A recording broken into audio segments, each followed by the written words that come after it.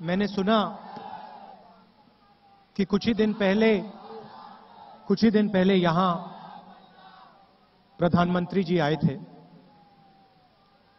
पाँच साल से प्रधानमंत्री हैं। 2014 में एक के बाद एक वायदे करते थे। दो करोड़ युवाओं को रोज़गार किसानों को सही दाम, पंद्रह लाख रुपए बैंक अकाउंट में। कुछ ही दिन पहले आए, क्या उन्होंने रोज़गार की बात की? कुछ बोला रोज़गार के बारे में? ये जो यहाँ फैक्ट्रियाँ बंद हुई हैं, इसके बारे में कुछ बोला प्रधानमंत्री जी? ने किसान को जो पहले सही दाम की बात करते थे यहाँ जो खरीदी नहीं हो रही है, उसके बारे में प्रधानमंत्री ने कुछ बोला? नहीं बोला? पंद्रह लाख, उसके बारे में कुछ बोला आपको? बताया कि भाई मैं पाँच साल पहले आया था, पंद्रह लाख की बात की थी, माफ़ी माँगता हूँ, नहीं दे पाया, इस बार दूँगा। ये नहीं बोला?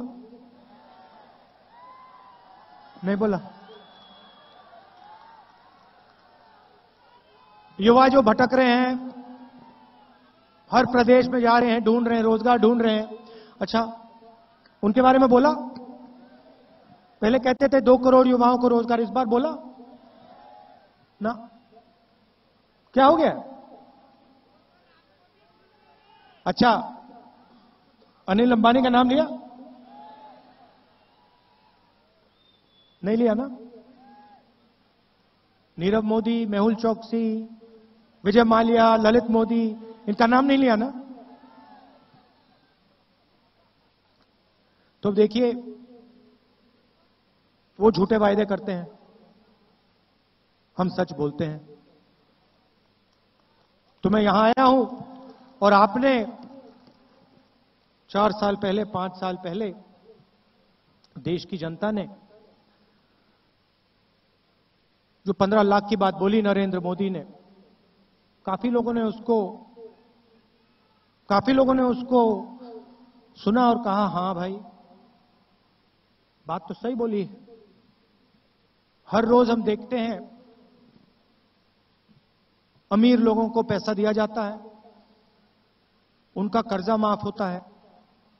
तो ये जो नरेंद्र मोदी आया है, पंद्रह लाख की बात की है, बात तो सही है।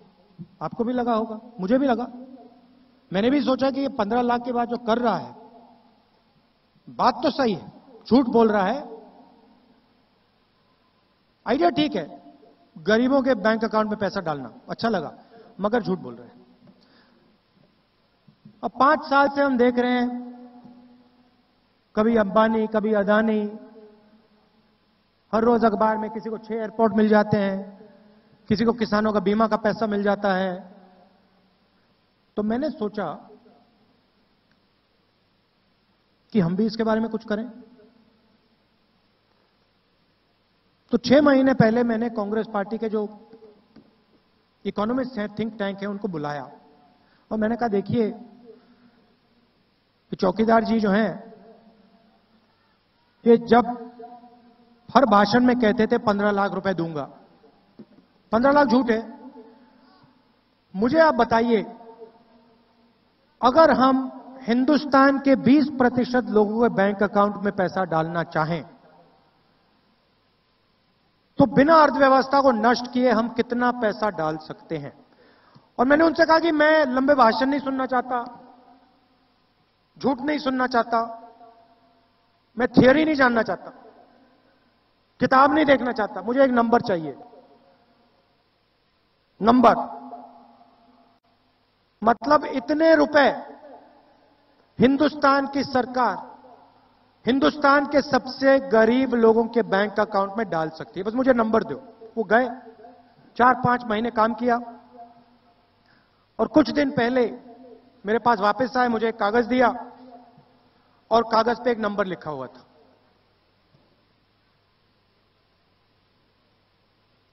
बहत्तर हज़ार रुपए हर साल।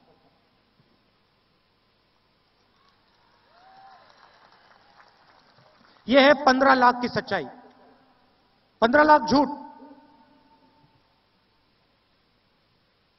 सच्चाई इतनी खूबसूरत नहीं होती, झूठ जितनी खूबसूरत नहीं होती।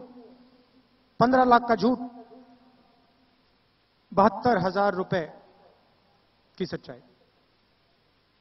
उसको दूसरे तरीके से बोलता हूँ। पाँच साल के अंदर तीन लाख साठ हज़ार रुपए। अच्छा नंबर है। पंद्रह लाख जितना नहीं है, मगर अच्छा है। तो हम एक नई योजना बना रहे हैं।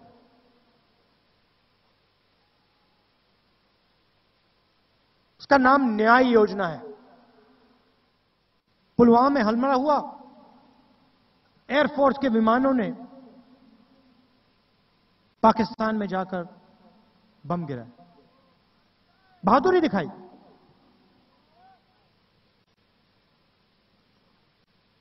प्रधानमंत्री कहते, मैंने किया। आपने किया? आपने किया? राइफल पकड़ के जाके दिखाओ जरा।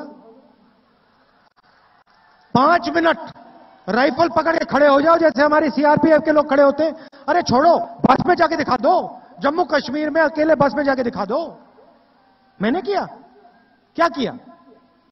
एयरफोर्स ने बम गिराए। सीआरपीएफ के जवान शहीद हुए। नहीं, मगर नरेंद्र मोदी ने किया। रेस कोर्स रोड में बैठ के किया। मैं आपको बताता हूँ नरेंद्र मोदी ने क्या किया। एयरफोर्स को राफेल का हवाई जहाज़ खरीदना था। दुनिया का सबसे बड़ा कॉन्ट्रैक्ट 126 हवाई जहाज़। हाई टेक्नोलॉजी हवाई जहाज़। यूपीए सरकार ने कहा हिंदुस्तान एरोनॉटिकल लिमिटेड इस हवाई जहाज़ को बनाएगी। हिंदुस्तान में बनाएगी। फ्रांस के लोग बहाना बना रहे थे। नहीं, हम फ्रांस में बनाएँगे। प्रधानमंत्री मनमोहन सिंह जी ने कहा, नहीं, फ्रांस में नहीं बनेगा, हिंदुस्तान में बनेगा।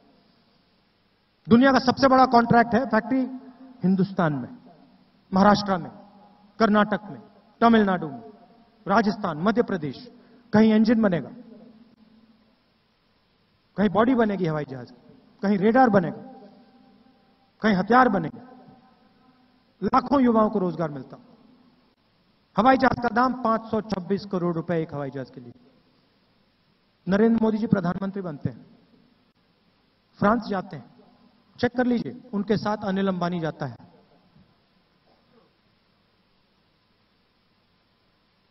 चौकीदार चौकीदार।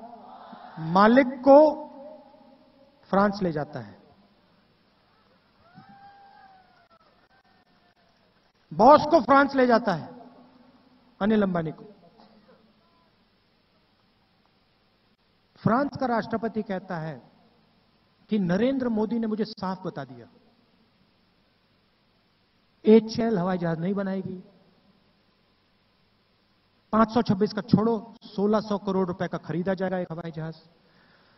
और ये जो मेरे साथ आए हैं, अनिल अंबानी जी, इनको कॉन्ट्रैक्ट दिया जाए। मैं नहीं कह रहा हूँ, फ्रांस का राष्ट्रपति कह रहा होलैंड नाम है, इंटरनेट पे देख लीजिए। होलैंड, मोदी, अनिल अंबानी सर्च कर लीजिए, पता लग जाएगा आपको, उसने क्या कहा।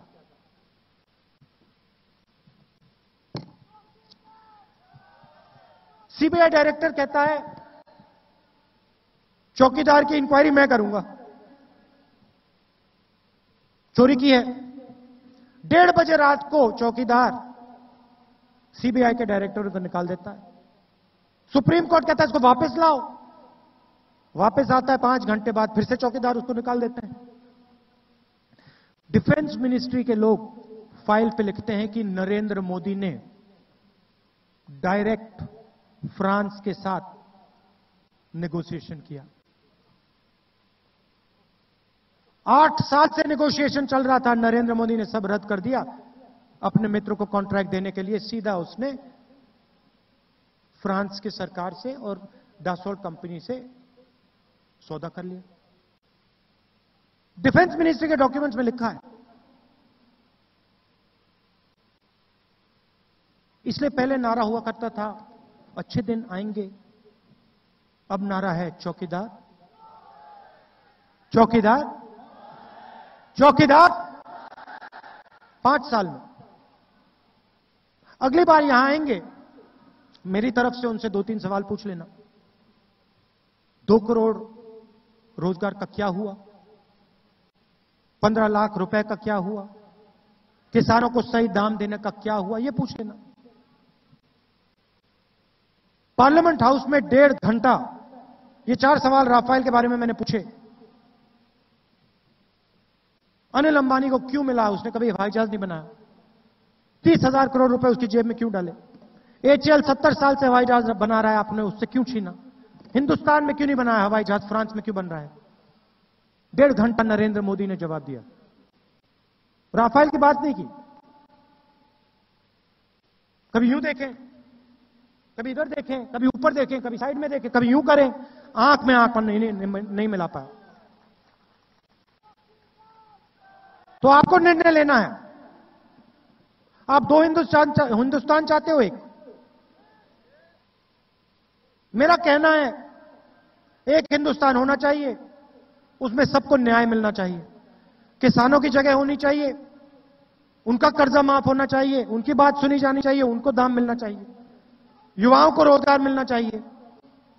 ठीक है, बड़े बिज़नेस वाले हैं, उनके लिए भी जगह होनी चाहिए। मगर छोटे बिज़नेस वालों के लिए मिडिल साइज़ बिज़नेस वालों के लिए, दुकानदारों के लिए भी जगह होनी चाहिए। मैं सिर्फ़ न्याय की बात कर रहा हूँ। एक हिंदुस्तान, एक झंडा, एक हिंदुस्तान। वो चाहते हैं दो हिंदुस्तान हो। एक अमीर लोगों का मर्सिडीज गाड़ी का प्राइवेट हवाई जहाज़ का।